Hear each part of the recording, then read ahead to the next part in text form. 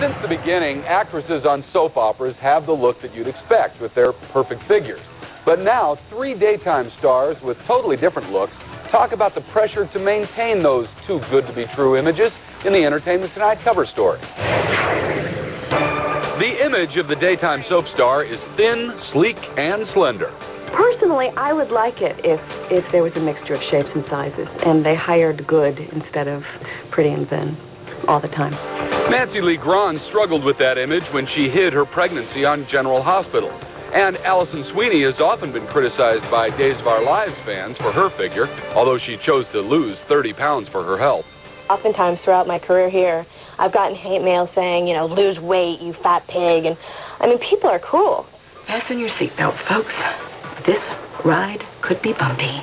Sweeney's co-star, Patrika Darbo, knows that she breaks the mold when it comes to the image of the daytime diva. On the soap, she has a slim, hunky husband, and the fans are crazy about her. My talent is not based on my size. The fat in my body does not store my talent. If I lose my fat, I don't lose my talent. Darbo has received a lot of positive fan mail from those who see her as a role model. Some of them say I would look at daytime and just think that that was a fairy tale world, but suddenly you've made it possible for me to be there too. That fairy tale world got another dose of reality when Susan Lucci finally won a daytime Emmy on her 19th try for a plot about an eating disorder. Can you go ahead, sweetheart? You just whispered to me. The storyline that Susan Lucci won an Emmy for was the intervention for her daughter Bianca who had anorexia. And I think it's incredible that Daytime is bringing that forward and saying, look, this is not a good thing. They'd never pair us together, would they? And if daytime TV is beginning to rethink thin, Patrika's soap squeeze, Kevin Spirtas, says it's about time.